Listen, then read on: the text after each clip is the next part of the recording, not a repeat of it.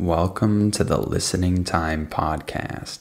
Hey, everybody, this is Connor, and you're listening to episode 74 of the Listening Time Podcast. Thank you all for listening. I hope you're all doing well. Remember that if you want my specialized training and you want extra episodes of the Listening Time Podcast, then become a Listening Time member and if you want my advanced podcast episodes, if you want two new advanced episodes every month, then become a listening time family member. In each advanced episode, I speak at normal speed, so you get the chance to practice with real English, with the way that English sounds when native speakers speak normally. So make sure to sign up the link is in the episode description below this episode. That's patreon.com slash listening time. So, in today's episode, we're going to talk about elementary school. Uh, we'll talk a little bit about elementary school in the United States in general, and I'll talk to you a little bit about my experience in elementary school. In case you don't know, elementary school refers to grades 1 through 6 usually in the US system. So when you're 6 years old, you start to go to elementary school in first grade until you're about 11 or 12 years old when you're in 6th grade. So this is elementary school and that's what we'll be talking about today. Before we start, remember to give this podcast a five star rating if you like it. And please share this podcast with anyone else who might find it useful, any friends or family members who are learning English and who could benefit from the Listening Time podcast. And don't forget that you have the transcript available in the episode description below this episode. So go down and click on that if you need it and repeat this episode as many times as you need until you can understand everything that I'm saying without using the transcript eventually. All right, let's get started. Are your ears ready? You know what time it is. It's listening time. Okay, so we're going to talk about elementary school in the United States in general and my experience in elementary school. Of course, I'm going to be talking about the public system in the US, the public school system, because I went to public schools when I was growing up. So I can't talk much about private schools in the US because I never went to one. So I'll talk a little bit about the public school system and just know that I went to elementary school a long time ago. So it's probably a lot different now, but I'm sure some of the fundamentals are still the same. And I'm sure that it will still be interesting for you to hear about my experience in elementary school. So, before elementary school, a lot of people go to preschool when they're about four years old. This is the very, very first level of any type of school. So before preschool, there isn't much you can do. You're very young and you're probably not ready to be in a learning environment uh, at that age yet. But when you're four years old, sometimes you go to preschool, but you don't have to. It depends on your parents. I went to preschool and it was my first experience being alone without my mom and dad in another environment. And to be honest, I was not ready for it. I was miserable in preschool. I was very, very shy and I didn't talk to anyone. And I just hung out with my teacher whenever we had a recess break or something like that.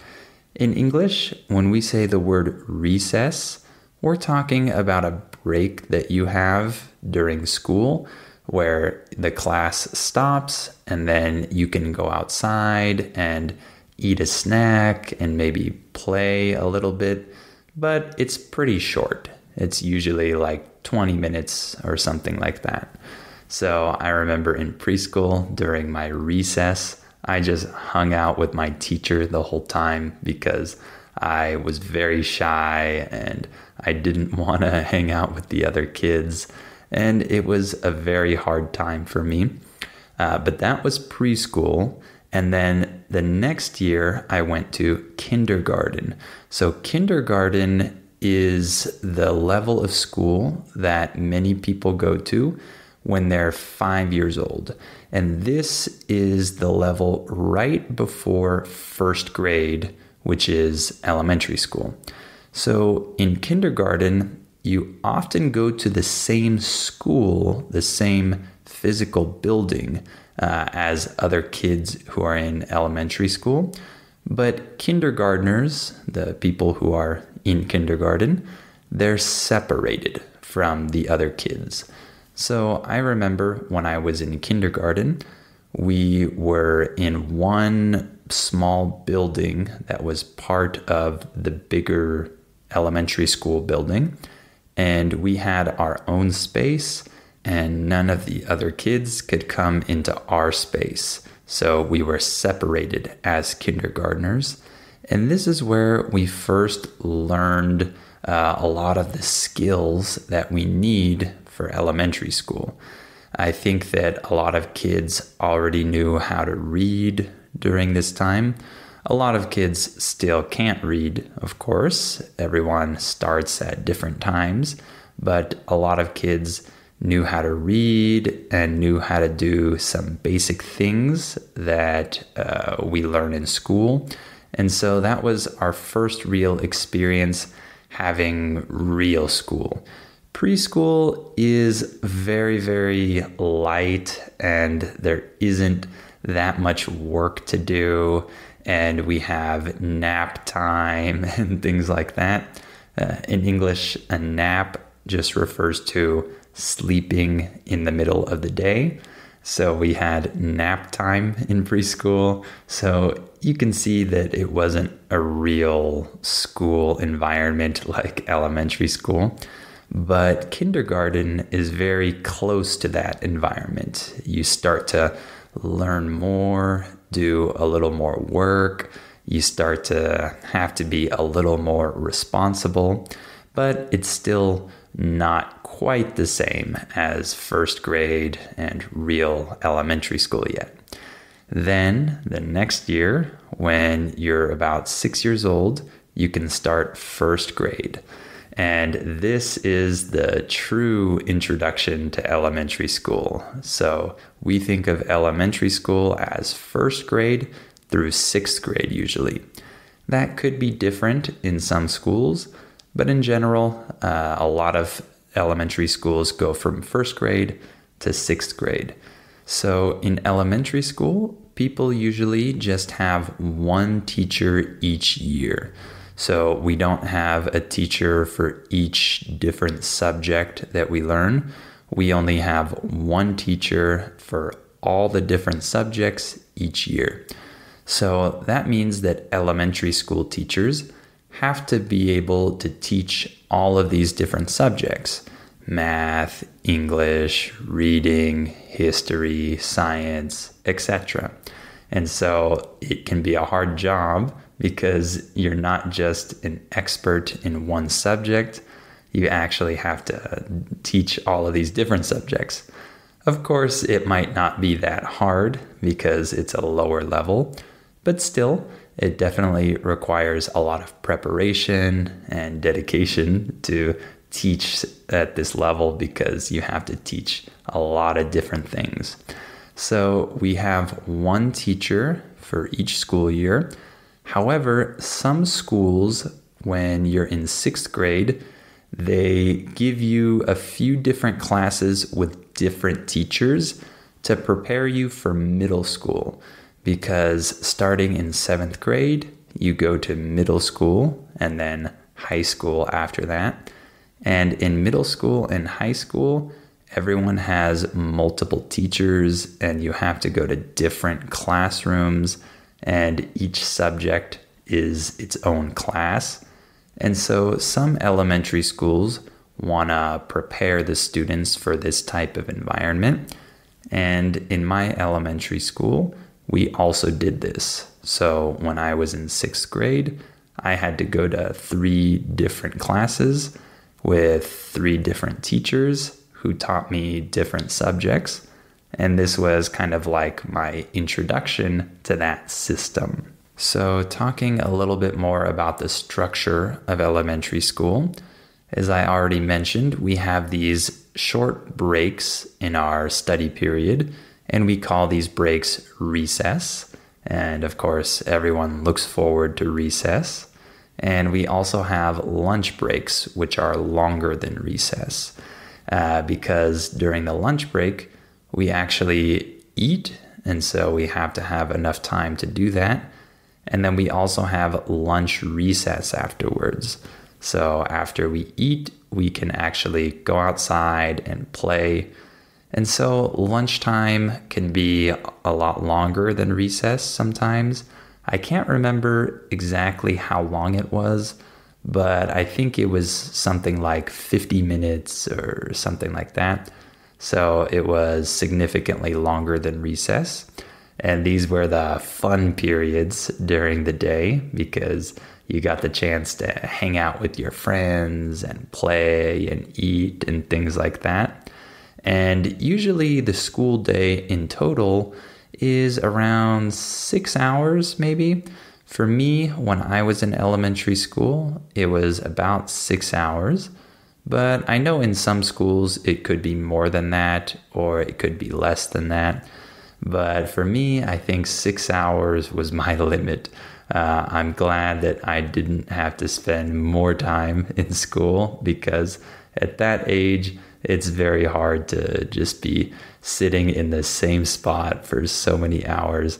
So I'm glad that it wasn't more. And uh, during the school day, like I mentioned, we learn a lot of different subjects. Uh, we have the same teacher, but we switch between different subjects throughout the day. So maybe we learn one subject for the first hour and then we stop that and then move on to the next subject and then the next one. And so we do a lot of different subjects each day, but with the same teacher, as I mentioned. And there are also things that we call assemblies uh, in elementary school, and we have these in middle school and high school as well. An assembly is when the whole school gets together, usually in some big auditorium, and we have some event and we do something special. We have a lot of assemblies during elementary school, and they're for different reasons. They could be for different occasions, but these assemblies interrupt our normal classes and we usually liked this because it meant that we could take a break from studying and we could do something else. And there are usually a lot of fun things that you do during assemblies. Uh, it's even funner in high school, but in elementary school, assemblies could also be fun. Like I said, they're for different occasions, different holidays, maybe things like that. And there are also field trips in elementary school. Field trips are these special trips that we take once in a while where we leave the school campus and we go to some other place uh, in order to learn about something or to just have fun. So, for example, I remember taking a field trip to SeaWorld. Uh, SeaWorld is this park with a lot of aquatic animals like whales and dolphins and sea lions and things like that. And of course, it's educational, but also just for fun because it's very fun to go to a place like SeaWorld uh, rather than just staying in your class all day. So it's fun, but obviously during these field trips, uh, they usually want us to learn about different things. And one other thing that's important to note is that many people in the US, when they're in elementary school, and in middle school and high school, take the school bus to get to school. This is different from the normal bus that you might take uh, to get around the city. A school bus is specifically for one school. It's usually yellow, and uh, all of the kids that are on that bus, they're the same people that are on that bus every day. So you see the same exact people because people need to take the school bus every day to go to school and come back home. And each bus has a different number and it goes to different places, different neighborhoods. So, this is why the same people are on the same bus every day because each bus goes to specific neighborhoods around the school. And so I remember taking the school bus for many years when I was a kid. And I didn't really like this, but I didn't have a choice. And so that was how I got to school and got home after school. So let me talk specifically about some of the subjects that I learned in school. Uh, of course, we learned arithmetic in elementary school. Arithmetic just refers to addition, subtraction, multiplication, division, those basic operations that we have in math. And I remember that we had to learn all of the multiplication tables and things like that. We had to memorize that 6 times 7 is 42. And I remember memorizing all of these operations and uh, all of the answers to these basic operations. And we had a lot of quizzes and tests about this, and they were timed. So you had to do them as fast as possible. And I remember that. And actually, it worked really well for me because nowadays I can still do those basic operations really easily in my head, right? If someone asks me 12 times 7, right, I'm able to do that in my head very quickly. And for most of these, I just have them memorized. So that actually helped me a lot. But for other kids, it might not have been as helpful and it might have been pretty stressful, actually. But I liked this when I was younger. And we also spent some time learning spelling. And this is interesting because in English, spelling is very hard for children. Uh, as you probably know, in English, uh, words aren't spelled the way that they sound. So, this means that you don't automatically know how to spell new words. You have to learn the word first and then memorize the spelling, and then you can spell it. So we had a lot of spelling tests in elementary school. And I was always a very good speller, so this wasn't a problem for me. But some of the other kids were really bad at these spelling tests. So you can see that spelling and writing in English can be harder than in other languages because of our sound system. And we spent a lot of time on reading comprehension. I remember reading a lot of short stories, and then we had to answer questions about these stories. And I never liked this, and I don't think anybody likes this. And to be honest, I don't really think that this is that beneficial uh, because it doesn't really test our intelligence or really uh, train us to become better readers, in my opinion. I think that some people just get distracted when they're reading, and when they arrive at the questions, they can't remember what they read, and they just have to go back and look at the text again. And this isn't that fun, and I don't think it's that useful, and I don't think it really helps us uh, improve a lot in this area, but it's what we always do in school. So I'm sure that the people that make us do it have some good reason to make us do these reading comprehension exercises. And one other subject that I remember learning was history. And in particular, uh, when I was in school, we learned uh, history about our state, about California, and we learned uh, a lot of history about the Native Americans, actually. We learned about the different tribes uh, in our area, but also in other parts of the US. And we actually spent a lot of time learning about the Native Americans, and it was pretty interesting for me. I remember liking that uh, topic that we learned about. And I also remember learning ancient history. I remember learning about uh, ancient Egypt, uh, Greece, and Rome. And I also thought that this was really fascinating as well. So, those were some of my favorite subjects uh, to learn about in school. And let me just mention some interesting things that we did, some highlights that I can remember from my time in elementary school. One thing that I'll always remember is dissecting a squid.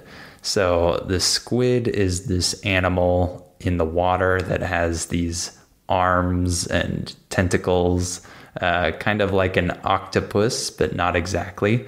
Uh, this is something that a lot of people eat as well. So I remember dissecting this squid and uh, cutting its body open and examining the biology of this squid. It was kind of gross, and so that's why I'll always remember this from elementary school. And I also remember that we had this special subject that we learned about uh, for a short time period that was stock markets. So we actually learned about the stock market and we had the homework to choose one stock and we could even ask our parents to buy one share of that stock and then we learned how to track that stock in the newspaper every day.